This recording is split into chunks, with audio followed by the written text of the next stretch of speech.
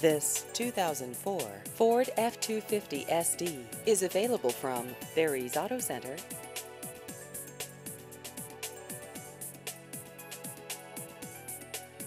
This vehicle has just over 52,000 miles.